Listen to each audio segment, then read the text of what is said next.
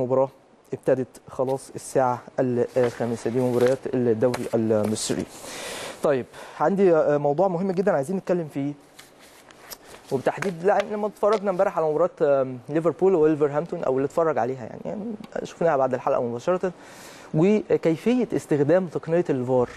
وده أمر مهم قوي. ليه بقى إحنا هنتكلم في الجزئية دي؟ لأن إحنا طبعا زي ما سامعين أخبار كتير جدا من مسؤولين في الاتحاد المصري لكرة القدم فيما يتعلق ب تطبيق هذه التقنية بداية من الدور الثاني إحنا مش عارفين طبعا الدور الثاني هيبتدي إمتى بصراحة يعني ما حدش يعرف هنشوف هيبتدي إمتى الدور الثاني لكن في كل الأحوال التجهيزات اللي بتبقى قبل تطبيق هذه التقنية خصوصا بعد مباراة ليفربول وولفرهامبتون والهدف اللي اتلغى لولفرهامبتون وتقريبا لو معانا الصور يا ريت يا جماعة نعرضها يعني. الهدف اتلغى فرق سنتي تقريبا رجل لاعب ويلفرهامبتون كانت سابقة مدافع ليفربول. بحاجة يعني إيه؟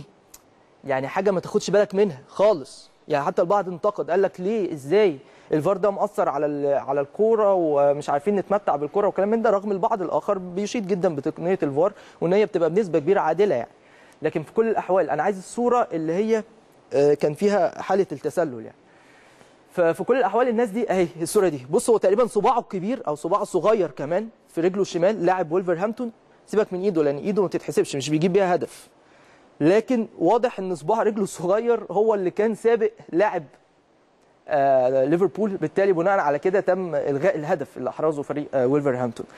فالمقصود يعني من القصة دي الناس دي في إنجلترا اتدربوا على تطبيق التقنية قبل تطبيقها ب 18 شهر.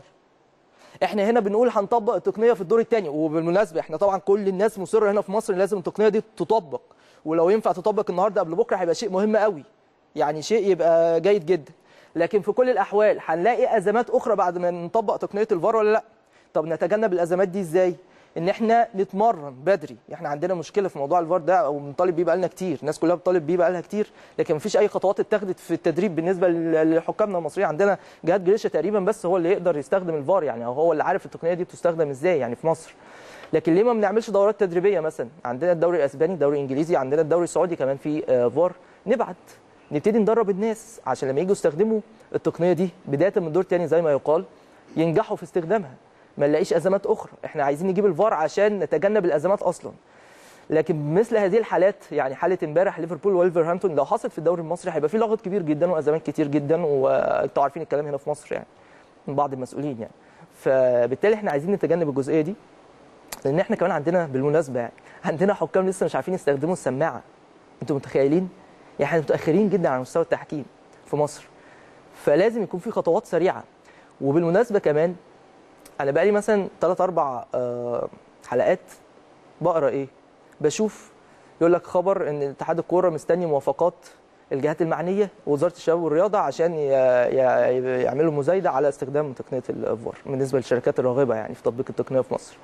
ولغاية دلوقتي لو في في موافقات من وزارة الشباب والرياضة ولا من الجهات المعنية؟ فأرجوكم يا جماعة يا جهات معنية يا وزارة الشباب والرياضة هاتوا الموافقات.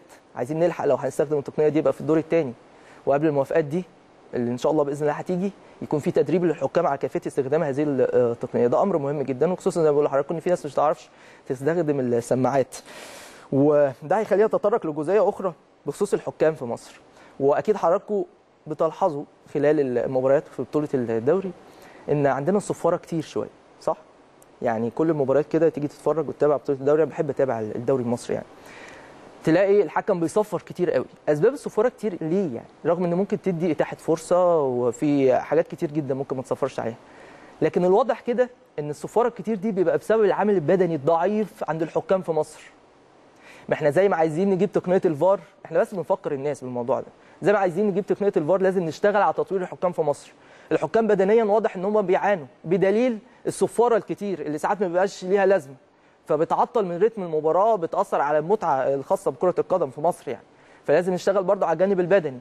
بالنسبة للحكام بالإضافة لتقنيه الفار إن شاء الله تطبق بعد ما نحصل أو الاتحاد يحصل على الموافقات الأمنية من الجهات المعنية وأيضا من اتحاد أو عفوا من وزارة الشباب والرياضة لأن ده أمر هيكون غاية في الأهمية. ويعني موضوع حبينا نفكر الناس بيه لأن ده أمر مهم.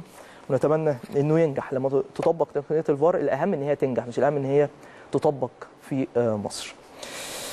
خلينا نروح نشوف أخبار الأهلي في الصحف النهارده. يلا بينا.